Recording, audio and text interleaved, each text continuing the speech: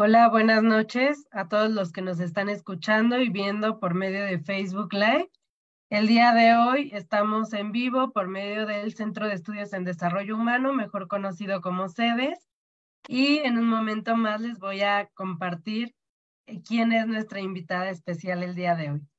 Antes de pasar a esta, esta charla que vamos a tener el día de hoy, les quiero compartir que por medio de www.institutocedes.com, que es nuestra página web, pueden encontrar infinidad de información importante para ustedes.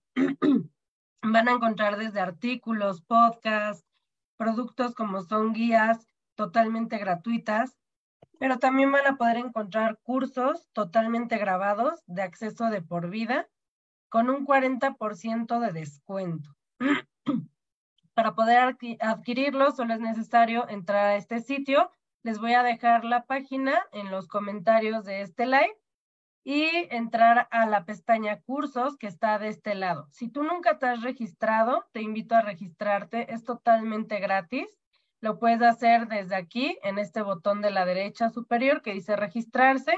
Llenas unos breves datos. Los datos que te va a pedir es que pongas tu nombre, que pongas el mail con el que te quieres registrar, posteriormente que pongas la contraseña, pero es la contraseña que tú quieras para este sitio.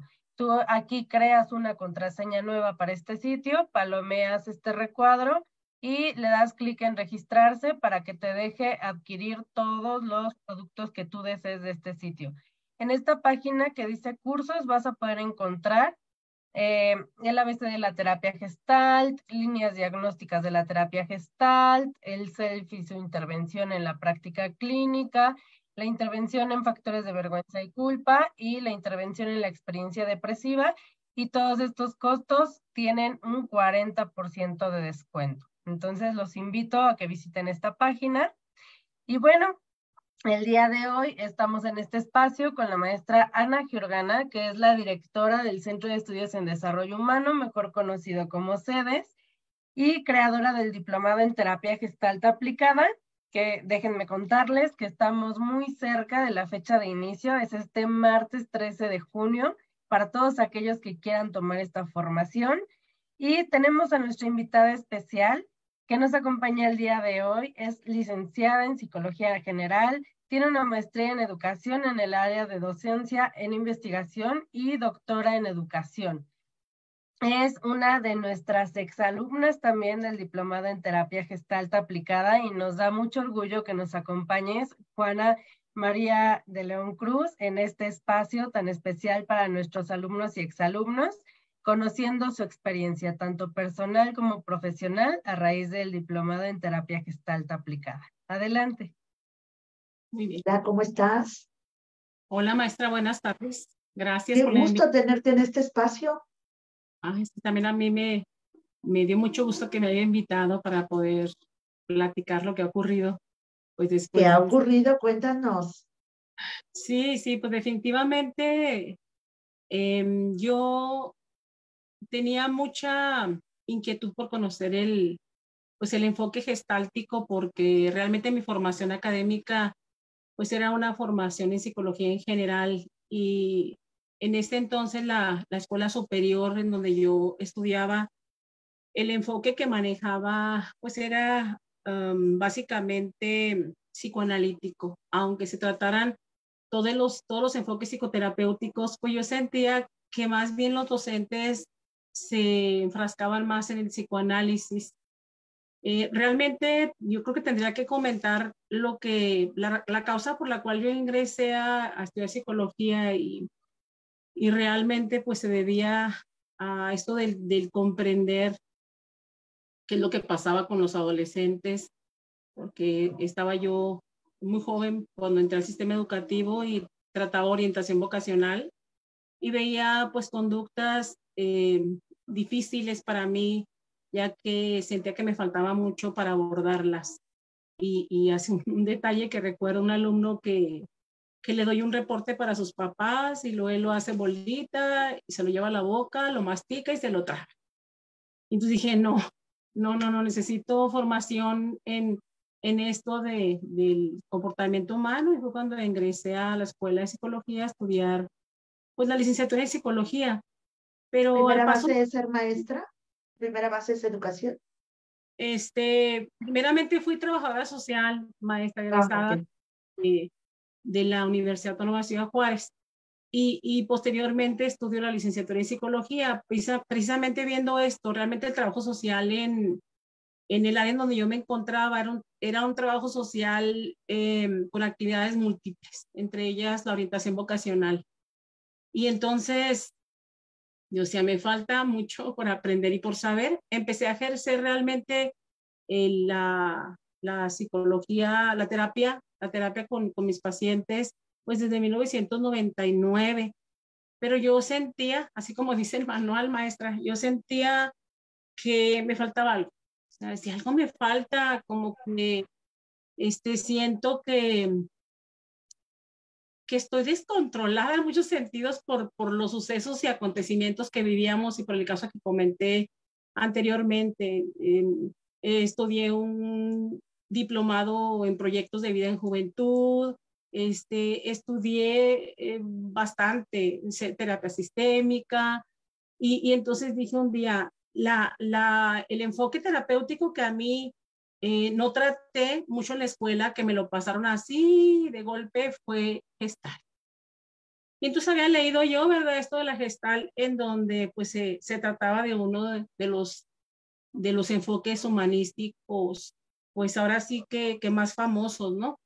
Y dije, vamos a intentar. Ya me invita una maestra ahí de, de, la, de la universidad en donde yo doy clases, la Universidad Cultural, y, ingreso, incluso usted lo sabe, dos sesiones después, por ese interés. No encontraba yo esa escuela. Este, agraciadamente, pues así como que lo llamé, ¿no? Y, me comentó una compañera, no, entra al CEDES.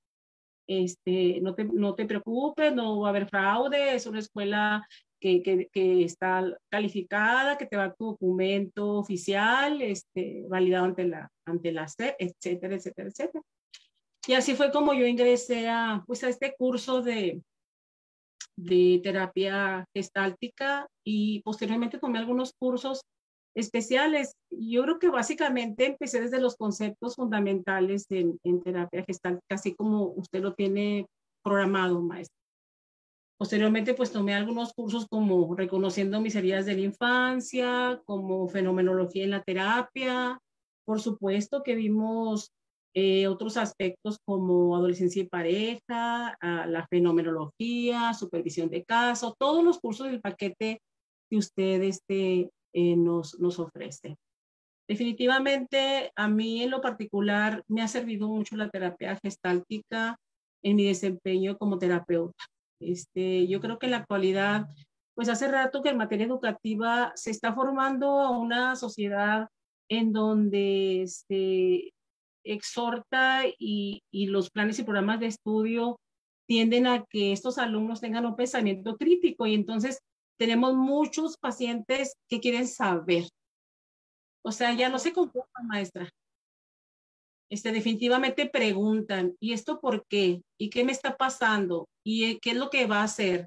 Pues este pensamiento eh, crítico, esta habilidad. El desarrollo de las habilidades eh, para la vida, como dice la Organización Mundial de la Salud, ¿no?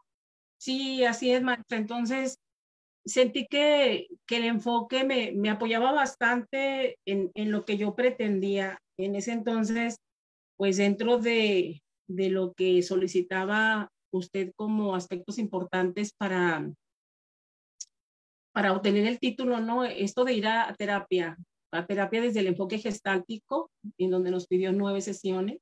¿Nueve sesiones? Sí, diez sesiones. Si no me, ah, me faltó una, no, no, no es cierto. regrésanos el título, regrésanos. No, no, no. Hice más de diez. Este, y descubrí en la, terapia, en la terapia y con mi terapeuta que efectivamente ya le, le había pasado lo mismo, porque había pasado por muchos enfoques terapéuticos, y en su necesidad de ser, de ser un buen terapeuta y, y realizar estas eh, buenas prácticas clínicas que nos solicitan en nuestro ámbito, ella me comentaba, ¿verdad? Me faltaba algo. Y, y a mí me ocurrió en lo particular lo mismo. ¿Qué hice después? Pues me he enfocado mucho. Tengo un rato que con un borrador de un libro que no termino, definitivamente, pero me enfoqué más a la terapia clínica. Este, pues logré la jubilación en el sistema eh, Secretaría de Acción Pública y tengo más oportunidad de poder consultar en, en todos los turnos matutinos. De materia privada. Sí. De forma privada. Sí, definitivamente. Y entonces, pues aquí, después del curso, me, me enfoqué a, dar cursos de, de capacitación.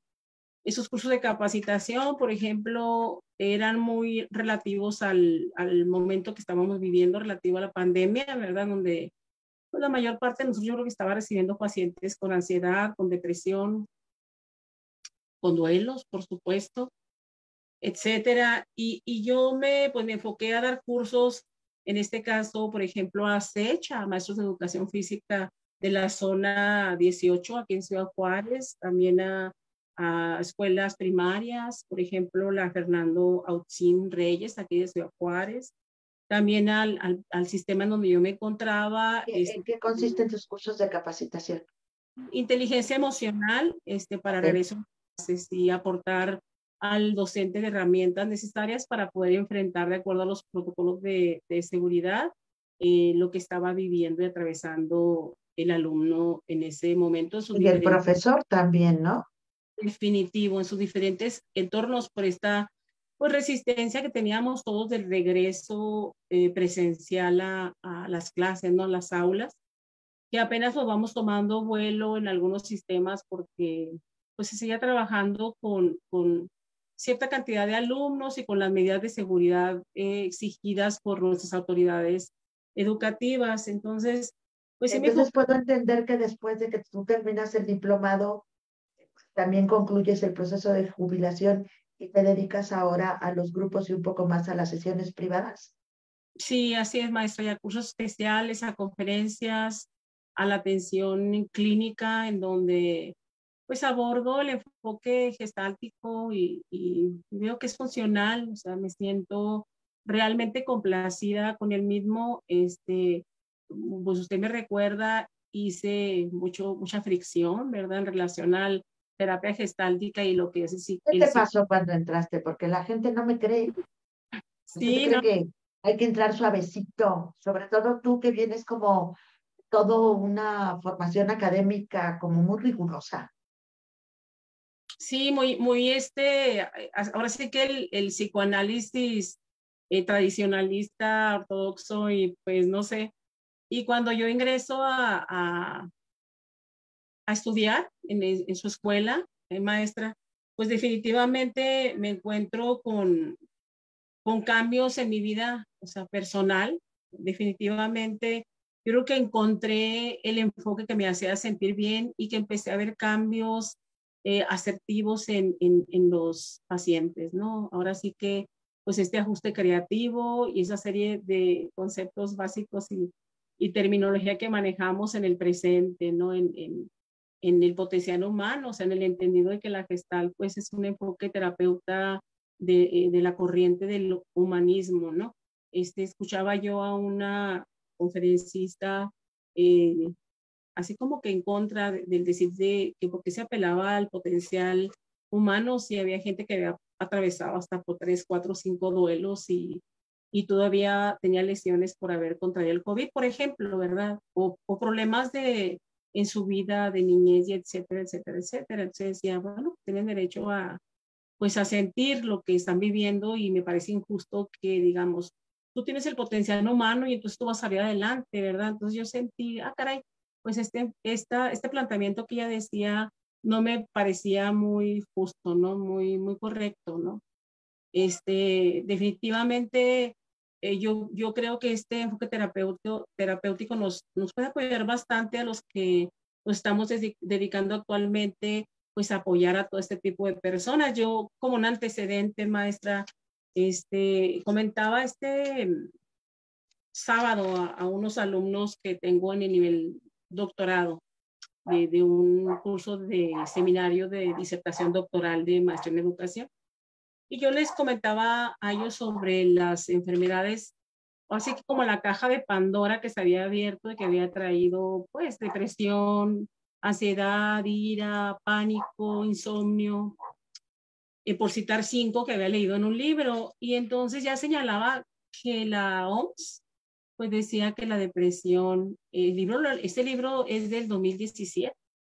Por supuesto, va a haber más ediciones actualizadas, pero en el caso mío es del 2017 y este, y el autor señala que la OMS pues señalaba que para el 2025 nos íbamos a encontrar con este problema de depresión más que enfermedades cardiovasculares y cáncer incluso. Y, y entonces dije, wow, wow, nosotros como terapeutas que tratamos este, este problema, o sea, ¿cómo lo vamos a tratar? Eh, esto de, de, tratar el presente y la regulación de las emociones y este darse cuenta en donde pues, los pacientes ya hasta habla como uno, ¿verdad, maestra? Una terapia, pero a veces resulta que ellos ya vienen de, de, otras terapias. O sea, ellos ya conocen el, el trabajo de, del psicólogo. Y, y, algunos me han preguntado, eh, precisamente el, el, viernes me decía una maestra, bueno, ¿y usted qué tipo de enfoque maneja? Y entonces dije, pues no quiero pecar o verme mal, pero pues yo podría decir holístico, y esto de mente, alma, cuerpo, espíritu y agregamos... General, ¿verdad? General, ¿no? Y, y, me decía, gestáltica, sí tomé un curso, un diplomado en terapia gestáltica, sí. ¿Cómo que curso? Un diplomado. Perdón, un diplomado. Y me dice que mi hermana quiere un terapeuta gestáltico. Y pues claro que me encantó y realmente es algo que se está vendiendo actualmente.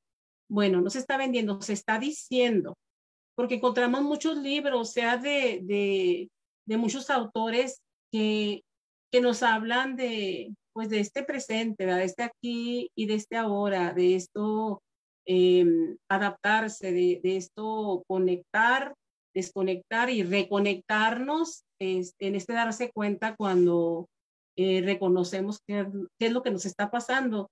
Entonces, pues es un compromiso nosotros como terapeutas, esta búsqueda del conocimiento sin límites. O sea, en mi caso, eh, que tengo que manejar el, el, enfoque psicoanalítico por la, el tipo de, de, maestría en donde he participado, que es maestría en terapia psicoanalítica, me resultó muy difícil, o sea, muy difícil. Pero definitivamente en este momento yo recomiendo este enfoque por lo, las bondades que tiene. Por esto... Eh, ¿Cómo llegaste al diplomado y cómo saliste? No, yo, yo salí renovada personal, o sea, emocionalmente hablando, en lo personal y, y en lo profesional. Este, de confesarle que ahora que me abría al, pues al, a la terapia al 100%, ahora se me dificulta porque estoy yo sola y, y no tengo espacio. O sea, he tenido ahora sí que me ha tocado tener que, que darle cita a pacientes hasta dos semanas, tres semanas. Este, felicidades! Sí, sí, gracias a Dios. Sí tengo ahorita mucho trabajo y no me anuncio, o sea, son recomendaciones. Recomendado ver y así, así va esto. Cuéntanos, ¿desde dónde estás tú? ¿Estás en Juárez? Yo estoy en Ciudad Juárez, maestra, y yo consulto en un espacio en mi domicilio particular. Este, mm, realmente, como le comento, empecé poco a poco por ello, porque consultaba en un espacio de mi domicilio y no me interesaba mucho esto de promocionarme porque no tenía tiempo. O sea, entre una plaza en el gobierno federal en materia educativa y entre las clases en escuela particular, no tenía tiempo para la consulta, pero era lo que yo sabía había estado postergando durante mucho tiempo y a mí me encanta la terapia clínica. Entonces, eh, por ello esto de, de continuar preparándome, que, es lo que tenemos que hacer todos y abrirnos sobre todo al mundo del, del conocimiento, este, dejando pues esta rigidez, ¿no? Yo recuerdo en una actividad que usted nos solicitó que mm, después la analicé y dije, Ay, ¿cómo puedo haber contestado yo esto, no? En donde hablábamos de, a ver, déjeme le digo y recuerdo, maestra, hablábamos, abordábamos el término compasión. Entonces yo le decía, es que a mí el término compasión este, no me resuenan, o sea, me, no, ni, no me checa. Yo soy bien académica. Yo le comentaba, le decía, para mí la compasión es lástima, maestra. No sé si lo recuerda y en, en, lo que le escribí. Y después en este enfoque fui comprendiendo lo que era la compasión y me sentía avergonzada. O sea, sentí mucha vergüenza de haber este, concebido este término que es tan maravilloso de esta manera porque pues la compasión no significaba lo que posiblemente yo tenía arraigado como un introyecto, ¿no? Creo que lo, lo, confundías con conmiseración, ¿no? Sí, posiblemente yo lo veía como así, como lástima, es lástima. Y no puedo sentir lástima por los demás, o sea, siento empatía por los demás. Este, posiblemente voy a aplicar esto de, de la relación paciente-terapeuta en donde voy a manejar, ahí va un término, este, pues de ambas corrientes maestras.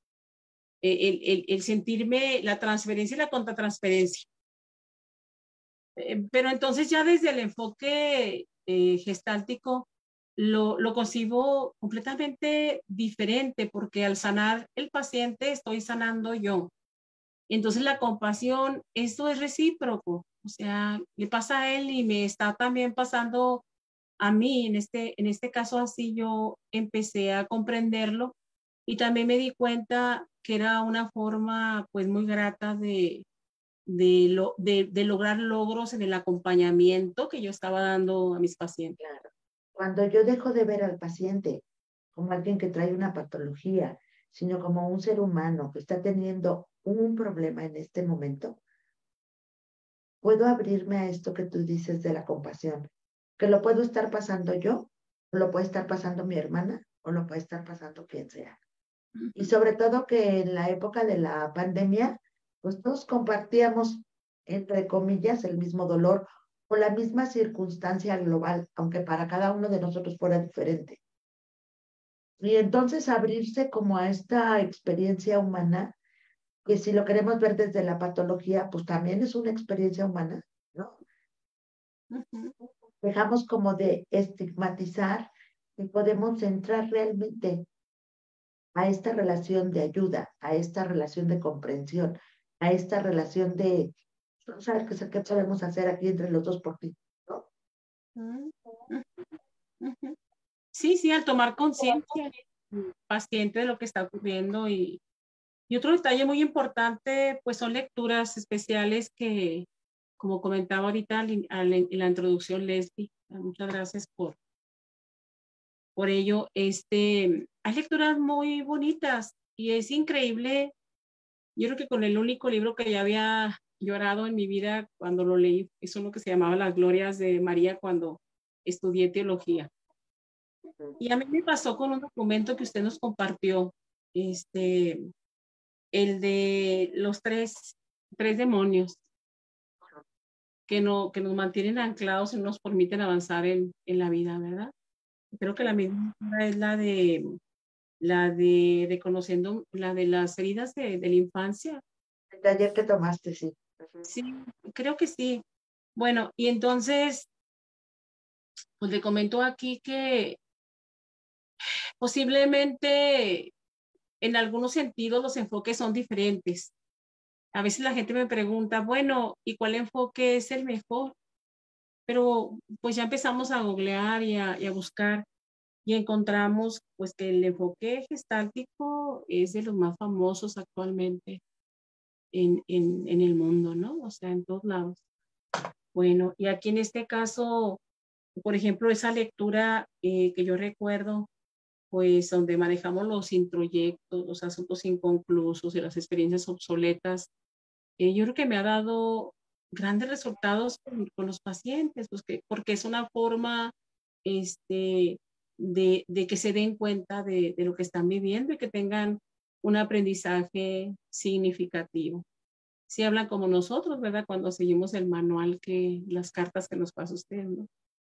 Este, dependiendo de, del caso, este, que para qué me sirve, qué tengo que modificar en mi vida, a quién soy leal, Ajá. de qué me doy cuenta. Este. Es como si la terapia gestal nos diera una guía. un mapa en el territorio de dónde ir entrando y saliendo y entrar y salir y entrar y salir, en donde teorizamos menos, interpretamos menos, indagamos más y describimos más. Entonces, el darse cuenta queda en la responsabilidad del otro. ¿No? El usuario del que le toca. Y tú lo viviste en carne propia, porque al venir de un, de un lugar muy académico, así de doctorado, como que yo siento que cuando tenemos este, este tipo de formaciones que son muy buenas, y yo no estoy en contra de ellas en ningún sentido, nos quita la otra parte de saber que estamos trabajando con un otro, con, con una persona que está teniendo una experiencia frente a su, a su problema y no que esto que hemos estudiado no sea importante, es importantísimo. Y es lo que todos sabemos que se llama diagnóstico extrínseco. Pero ¿cómo ahora lo individualizo en mi paciente? ¿Cómo lo paso?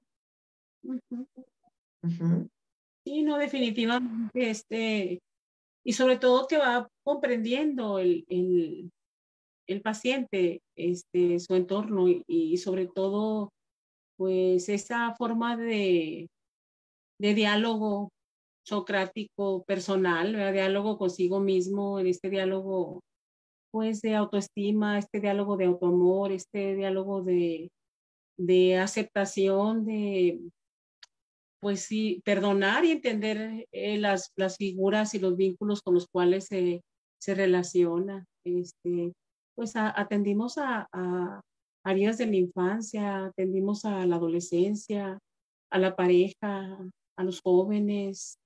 Y, a la construcción del self.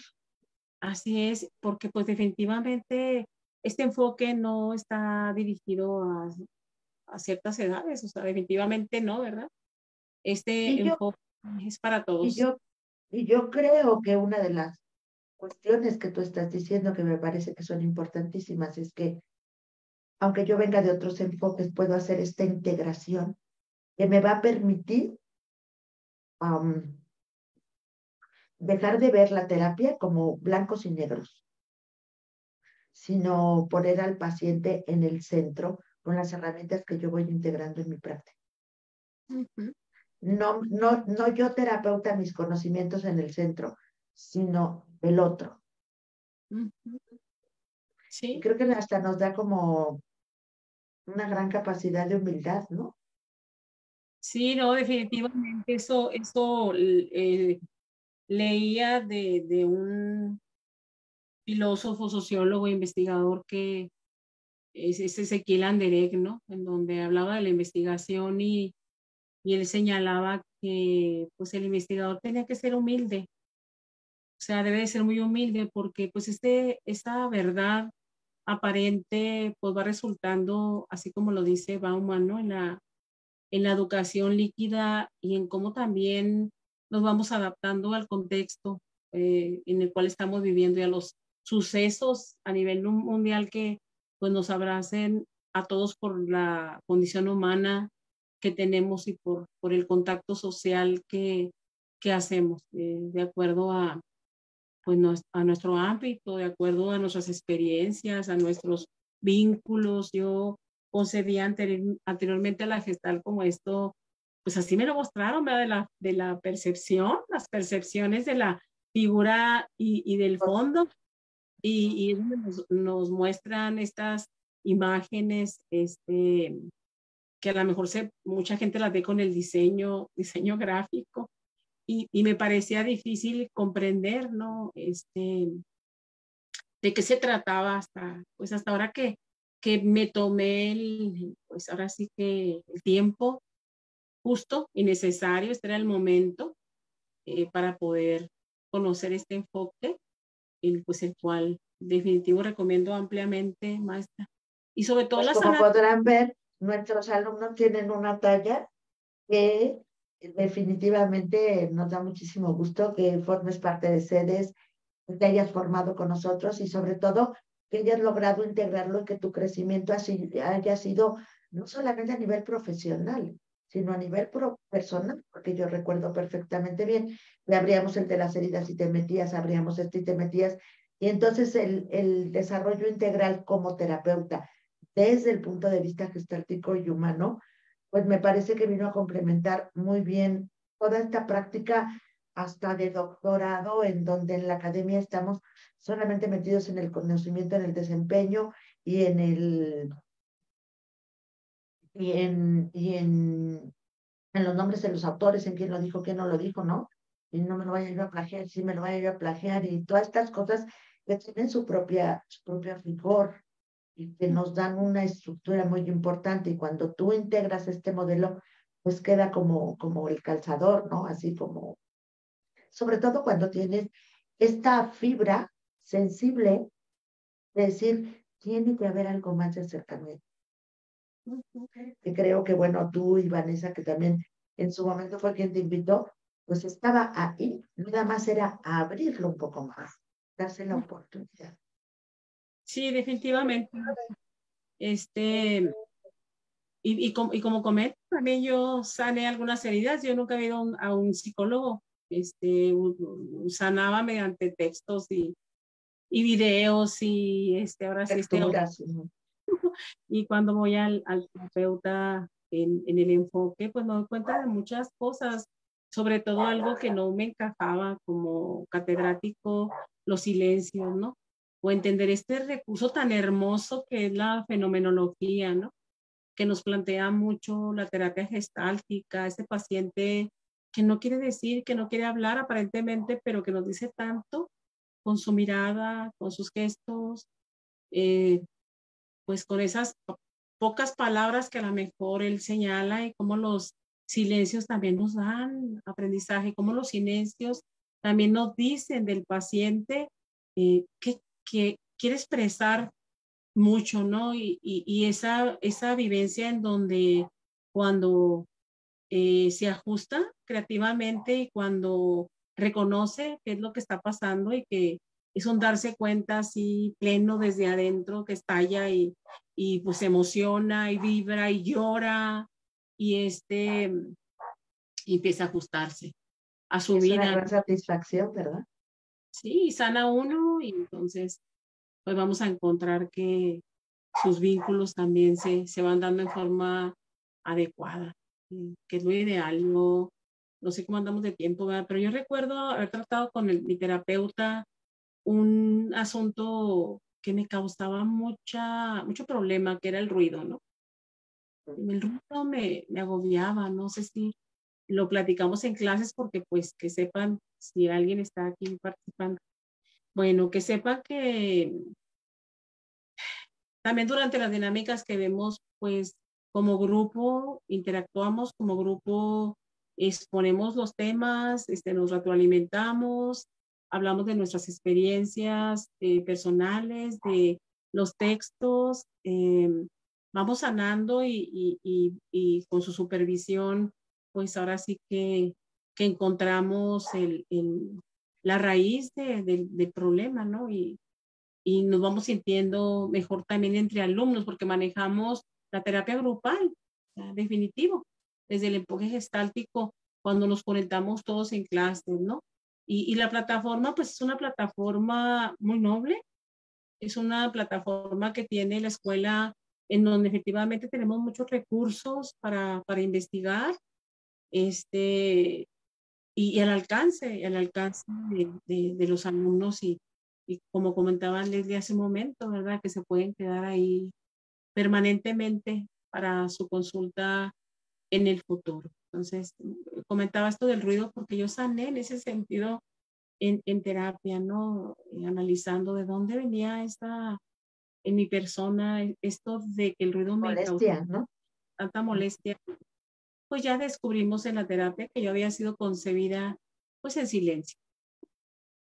Y en, esa concepción y en silencio, como, como muchos de, este, que teníamos muchos hermanos, ¿verdad? Mucha madre, como era mucha madre, muchos hermanos y poco padre en aquel entonces. Entonces fui concebida en silencio y, es, y me, me disgustaba mucho situaciones como que se sonaran los cubiertos en la mesa, y, y, lo planteaba en una ocasión a, una persona pues muy querida para mí, ¿verdad? Y, oye, ¿por qué suenan los cubiertos cuando estás comiendo? Esto es una falta de, respeto, las reglas de urbanidad y, y de cortesía. Y ya me estoy dando... No, Acá intolerancia. Ajá. Definitivo, las preguntas básicas, ¿de dónde viene? Ok, reconozco que posiblemente desde mi concepción, porque seguramente éramos tantos que el amor se hacía en silencio. seguramente. Sí, esos detalles este, importantes en donde ya al último al darme cuenta, pues ya invité a esa persona a comer y dije, puedes hacer el ruido que quieras. Avienta los cubiertos si quieres, porque ya soy gestaltista. Definitivamente, maestra. Muy bien. Pues muchísimas gracias, te agradecemos que estés aquí, nos encanta verte, saber cómo ha sido tu evolución, lo que te dedicas ahora y sobre todo el impacto que en un momento dado ha podido tener el, el diplomado en terapia gestal aplicada en ti, tus avances, tus, tus logros. Y bueno, ya saben, si alguien está en Juárez y quiere una gestaltista, pues este, luego, luego. Claro que sí, maestra. Muchas gracias, ¿no? Pues gracias por su invitación y reconozco su experiencia en este tema y, y su desempeño como directora de, de esta escuela y, y por supuesto ¿eh? me llegó mi, mi diploma, este, así. claro que te llegó. Oye, que no va a mi cara de satisfacción, muy contenta de escucharte. Sí, no, sí, maestra. Muchas, gracias.